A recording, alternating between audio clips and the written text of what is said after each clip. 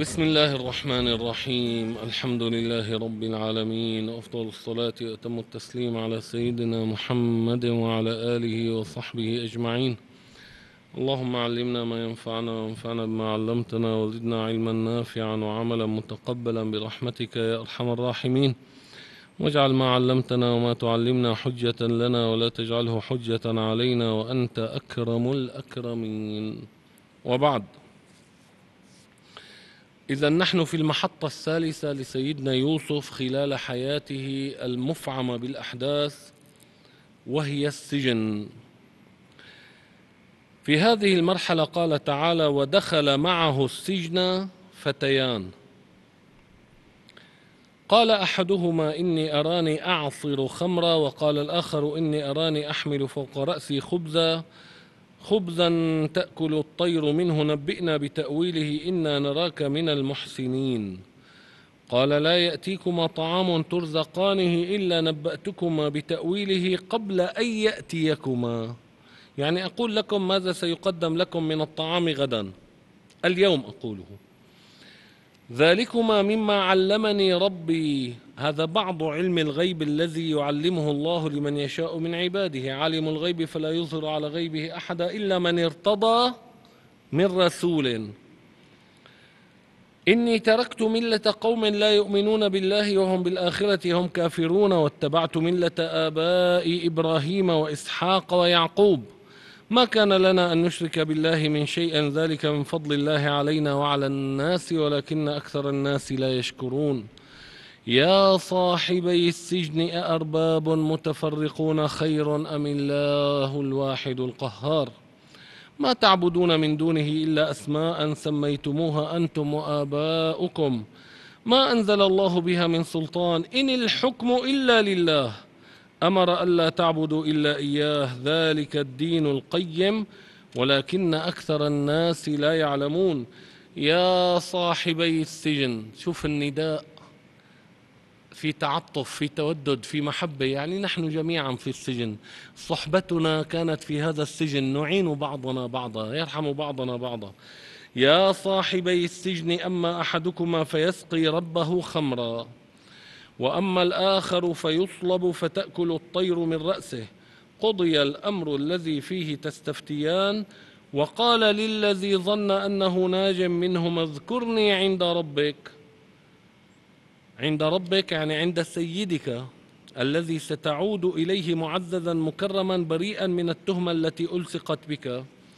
فأنساه الشيطان ذكر ربه فلبث في السجن بضع سنين. إذا تحقق ليوسف ما أراد ونجا من مكر النسوة جميعا. ودخل السجن.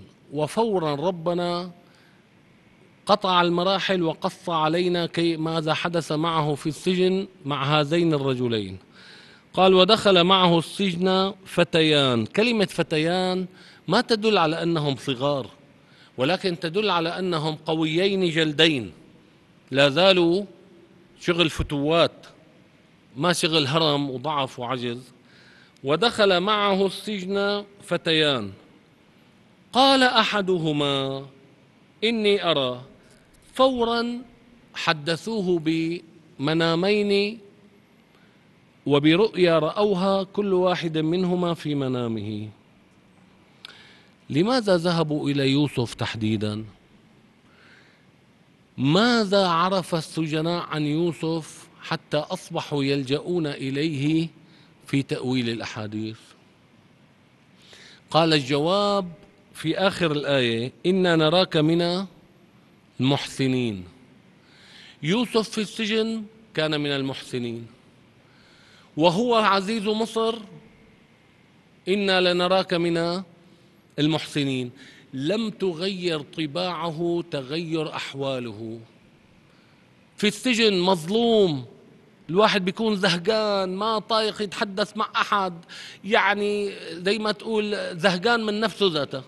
لكن يوسف ليس هكذا. إنا لنراك إنا نراك من المحسنين. رأوه كيف يعامل السجناء بمعاملة مختلفة. يبتسم في وجوههم يؤثرهم بالطعام يؤثرهم بالمكان يخفف عنهم عنهم الأحزان يواسيهم فيما يأتيهم من عقوبات أو من أخبار مزعجة. هذا هو المحسن. فلما رأوا يوسف يتصرف هكذا مع المساجين علموا أنه ليس ليس مثلهم. هذا يا أخي ما عامل أي جناية ولا متهم هذا جاي كده ساي. وكم في السجون من أبرياء. كان ولا زال وسيبقى. فتوجهوا إليه دون غيره. قال أحدهما فورا إني أراني أعصر خمرا. الخمر يعصر. ما الخمر هو العصير. لكن هذه فيها بلاغة وإيجاز وحذف كلام مقدر. يقدره العاقل بفطنته يعني إني أراني أعصر عنبا وأخمره ليصبح خمرا. فاختصروا العبارة إني أراني أعصر خمرا كما يقول العرب زمان رعيت الغيث. الغيث المطر. وهل يرعى المطر؟ هو يقصد رعيت أغنامي أو إبلي حيث نبت الكلأ بسبب الغيث. فاختصر كل هالعبارة قال لك إيش؟ رعيت الغيث. فصار في عنا جملة محذوفة تقدرها معنى في عقلك ليستقيم اللفظ. الخمر لا يعصر. إذا إني أراني أعصر عنبا ثم أعالجه ليصير خمرا. فاختصر وقال إني أراني أعصر خمرا. وقال الآخر إني أراني أحمل فوق رأسي خبزا تأكل الطير منه. أنا أرى الطير يجتمع على رأسي يأكلون خبزا من رأسي. يعني طعامهم يأخذونه من رأس المكان. وهنا ربنا سبحانه وتعالى أغفل ذكر اسم هذين. ونادرا ما القرآن ما يذكر اسم. دائما يذكر ما يشير إلى الاسم لكن لا يذكر الاسم. ليعلمنا أن العبرة في القصة بالحدث وليس بالأشخاص. إذا كان الأشخاص في ذكر فائدة يذكره. ما في فكر؟ هلأ كثير ناس عندهم اهتمام بجزئيات العلم وترك الأساسيات. بده يعرف من هو الأول ويبحث في التفاسير. لا أخي شو بدك فيه؟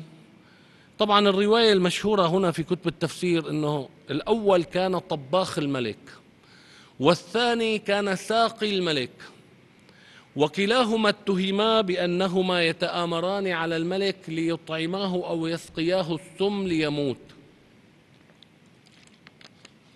فأمر بهما إلى السجن حتى يستكمل التحقيق ويتبين أيهما المجرم وأيهما البريء. أثناء وجودهم في السجن رأوا كل واحد منهم رأى هذه الرؤيا. نبئنا بتأويله وحتى لا يستفسر يوسف فيقول لماذا جئتم إلي؟ لم تذهبوا إلى أحد. إنا نراك من المحسنين. توسمنا فيك أنك مختلف عنا. أنت لا تشبهنا. أنت تعاملك مع الآخرين يختلف عن تعامل كل واحد منا مع الآخرين. وهكذا ينبغي أن يكون المسلم في فقره محسنا في غناه محسنا في شدته محسنا في رخائه محسنا. يوسف محسن في كل الحالات. مع من أساء إليه من إخوته كان محسنا. مع هذه امرأة العزيز بعد أن تابت واعترفت بذنبها وآمنت كانت محسنا. والروايات كلها تذكر أنه تزوجها فيما بعد. كان محسنا مع الجميع عليه السلام. فهنا يوسف عليه السلام قبل أن يجيبهم أكد لهم أنني مع الإحسان الذي رأيتموهم رأيتموه في أنا عندي علم علمني إياه الله وقد أصبتم في أن تأتوا إليه. قال لا يأتيكما طعام ترزقانه. إلا نبأتكما يعني إن شئتم بتأويله قبل أن يأتيكما. أنا أخبركم ماذا تأكلون غدا وهذه من معجزات سيدنا عيسى. وأنبئكم بما تأكلون وما تدخرون. ذلكما مما علمني ربي لأنهم كانوا على ملة كفر فأراد أن يعمل بالدعوة إلى الله في السجن. الدعوة إلى الله لا يتوقف عنها النبي أو المؤمن في أي حال كان فيها. يا أخي في السجن هو مشغول بقهره بعذابه. يشتغل في الدعوة حتى في السجن. مما روى أصحاب السير أن رسول الله صلى الله عليه وسلم عندما خرج من مكة إلى المدينة مهاجرا ومعه دليل على الطريق. الدليل الذي يعرف طرقات الصحراء حتى لا يسلك الطريق العادي. التفت إلى رسول الله وقال يا رسول الله هنا في هذا الوادي مجرمان عتيدان. يقال لهما المهانان لأنهم لا يتورعون عن سرقة كبير وصغير امرأة أو طفل يعني تافهين حقيرين كثير وإن شئت مررت بك من خلف الوادي. فقال صلى الله عليه وسلم مر بي عليهما. لا لا لا خذني إليهم. إنسان مهاجر قريش تطلبه تضع على رأسه حيا أو ميتا مئة ناقة وعلى صاحبه مئة ناقة. فاضي الآن يشتغل بالدعوة إلى الله لكنه الرسول وما أرسلناك إلا رحمة للعالمين. هذين اللصين مش من العالمين؟ قال فذهب إليهما رسول الله صلى الله عليه وسلم فما زال يدعوهما ويكلمهما ويقرأ عليهما القرآن حتى أسلما وشهدا أن لا إله إلا الله وأن محمد رسول الله. فقال صلى الله عليه وسلم انتهيا عما أنتم عليه سرقة ما في خلاص. فإذا سمعتم بي ظهرت على قومي فأتياني في المدينة وأنتما الآن المكرمان ولستما المهانان. نقلهم من الظلمات إلى النور من الإهانة إلى الكرامة. هكذا فعل سيدنا يوسف وكل الأنبياء وكل المؤمنين. قل هذه سبيلي أدعو إلى الله على بصيرة أنا ومن؟ اتبعني. أتباع الرسل كالرسل في الهمة في الدعوة إلى الله. ذلكما مما علمني ربي إني تركت ملة قوم لا يؤمنون بالله وهم بالآخرة هم كافرون. أهم قضيتين تركز عليهما للكافر الإيمان بالله وحده واليوم الآخر. واتبعت ملة آبائي أنا لست الوحيد ولست الذي اخترع هذا الطريق. أنا قلدت واتبعت من سبقني من الأنبياء وهم آبائي ولي الفخر. واتبعت ملة آبائي ملة أي طريقة وسنة. آباء إبراهيم وإسحاق ويعقوب ما كان لنا أن نشرك بالله من شيء. نحن عبيد. ذلك من فضل الله علينا أن هدانا للتوحيد وعلى الناس هداهم وأرسل إليهم الرسل ولكن أكثر الناس لا يشكرون. ثم بدأ يدلل لهم على أن هذه الآلهة التي يعبدونها لا تسمن ولا تغني من جوع وليست آلهة حقيقة. يا صاحبي السجن أأرباب متفرقون خير أم الله أم الله الواحد القهار؟ أحد المشركين جاء إلى رسول الله صلى الله عليه وسلم أراد رسول الله أن يدعوه إلى الله. قال له يا فلان كم إلها تعبد قال له ستة في الأرض وواحد في السماء. لا حول ولا قوة إلا بالله. قال له طيب إذا افتقرت وأردت الغنى فممن تطلب؟ قال له من الذي في السماء. قال له إذا مرضت وأردت الشفاء فبمن فممن تطلب؟ قال له الذي من السماء. الذي في السماء. إذا أردت إذا أردت إذا أردت الذي في السماء الذي قال له لا تجد الخير إلا عنده فعلى ما تعبد غيره. لكن شو هالعقل هذا ستة بالأرض واحد بالسماء. بس كل شيء متعلق باليمين يلي بالسماء. طيب هدول كان إيش فائدتهم ليش يعني؟ أأرباب متفرقون خير.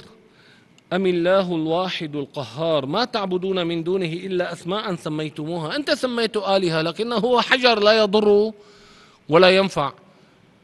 ليش يعني نحن أرباب؟ كلما سمينا إنسان بشخص هلأ أنا بقول عن أخي فلان أنت ملك الملوك. يعني صار ملك الملوك؟ لا زال اسمه فلان ووظيفته فلان ليس كل ما قلته يكون حقا لكن الله إذا أراد شيئا أن يقول له كن فيكون. أما نحن ما آلهة. ما تعبدون من دونه إلا أسماء سميتموها. أنتم سميتموهم آلهة. أما هم ليسوا بآلهة. سميتموها أنتم وآباؤكم. ما أنزل الله بها من سلطان. هم ليس عندهم تفويض من الله أنه جعلتكم نوابا لي في الأرض. إن الحكم إلا لله وحده. أمر ألا تعبدوا إلا إياه هذه صيغة مبالغة للاستثناء. ما قال أمر أن تعبدوه وحده؟ أمر ألا تعبدوا لا عبادة لأحد إلا إياه. نحن شهادة التوحيد تبعنا شو؟ نفي بعده إثبات. لا إله. هذه ليكون أقوى في الإثبات. نفيت كل ألوهية إلا ألوهية الله. لا إله ولا معبود بحق إلا. وهكذا فعل هنا سيدنا يوسف. أمر ما قال أمر أن تعبدوه وحده؟ قال أمر أن لا تعبدوا إلا إياه. نفي بعده استثناء هذا منتهى الحصر. ذلك الدين القيم ولكن أكثر الناس لا يعلمون. بعد أن أعطاهم هذه المحاضرة القيمة عن التوحيد وعن الدين القيم وعن ملة إبراهيم وإسحاق ويعقوب ودلهم أولا على الطريق السوي الذي فيه سعادتهم في الدنيا والآخرة عبر لهم الرؤيا. يا صاحبي السجن أما أحدكما ولم يعينه لكن من مفهوم الكلام هو اللي قال أعصر خمرة. أما أحدكما فيسقي ربه خمرا سيخرج بريئا ويعود مكرما إلى وظيفته السابقة أن يكون ساقي الملك. وأما الآخر والله الآخر يا أخي. هذا مجرم. وأما الآخر فيصلب ستتأكد عليه التهمة. أنه أراد أن يسم الملك. فيصلب ويترك وقت طويل حتى تأكل الطير من رأسه يعني من جيفته كلها وخاصة رأسه الذي رأى تأكل خبزا تأكل الطير منه. قضي الأمر الذي فيه تستفتيان يعني لا يمكن العودة عن هذا المصير الذي قلته لكما. هذه رؤيا حق وتعبيرها حق وستحدث في أرض الواقع بحق. لأنه ذكرت روايات ولا أظن لها صحة إنه هدول الاثنين كانوا عم يمزحوا هن لا شافوا رؤيا ولا شيء لكن أرادوا أن يختبروا يوسف فقال لهم قضي الأمر الذي في تست... يا أخي عم نمزح عم تمزحوا ما عم تمزحوا؟ قضي الأمر الذي فيه تستفتيان انتهى الموضوع. هي قضي الأمر الذي فيه تستفتيان هي زيادة من عند سيدنا يوسف بما أعلمه الله من الغيب وفعلا أحدهم خرج وصلب وقتل والآخر عاد إلى مكانته معززا مكرما مقربا من الملك ساقيه في أوقات الصفاء.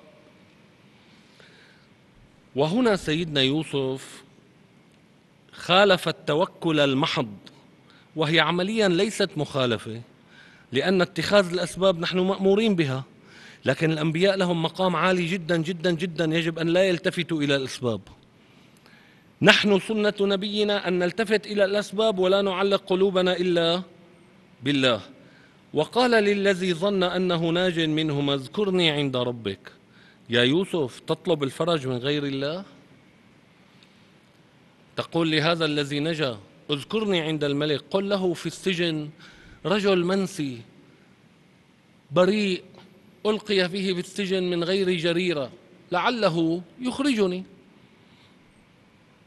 وقال للذي ظن كلمة ظن في القرآن غالبا ما تستعمل لليقين لأنه قبل قليل شو قال لهم سيدنا يوسف؟ قضي الأمر الذي فيه تستفتيان يعني قطعا هذا هيموت وهذا هيرجع ساقي الملك. لماذا قال هنا الذي ظن؟ ظن غلب على ظنه أو تيقن. وكثيرا ما يستعمل الظن في القرآن باليقين الذين يظنون أنهم ملاقو ربهم وأنهم إليه راجعون. يظنون يظنون ظن؟ لا الذين يتيقنون. اذكرني عند ربك ذكره بقضيتي. قل له أن يبحث عن أمري ويحقق العدل في قصتي. فعاتبه ربه تطلب النجاة من غيري. وين إياك نعبد إياك نستعين؟ فأنساه الشيطان ونسب الله ذلك للشيطان لكن هو بأمر الله ذكر ربه. يعني ما تذكر يوسف فلبث في السجن بضع سنين والبضع في اللغة العربية من ثلاثة لتسعة وأرجح الروايات أنه مكث سبع سنوات سبع سنوات بعد هالقصة يا ترى في مدة قبل هالقصة ولا ما في مدة؟ خلينا أقول سبع سنوات ولا اختار. ما هذه الدنيا التي يسجن فيها الكريم ابن الكريم ابن الكريم ابن الكريم سبع سنوات ظلما وتعدي بغير حق. لذلك لا تهتم للدنيا وما يحدث لك فيها. ضع عينيك على الآخرة فالآخرة هي دار الحق. طبعا مو يعني تهمل الدنيا لكن لا تهتم لما يحدث فيها. خسارة فقدان حبيب. يا أخي هذا حال الناس. إن تكونوا تألمون فإنهم يألمون كما تألمون وترجون من الله ما لا يرجون قال فأنساه الشيطان ذكر ربه فلبث في السجن بضع سنين. لا تطلب إلا من الله الذي نجاك من الجب هو الله يا يوسف. الذي جعل عزيز مصر يشتريك هو الله دون غيره من أهل مصر وما أكثرهم. ساق العزيز ليشتريك لتكون مكرما.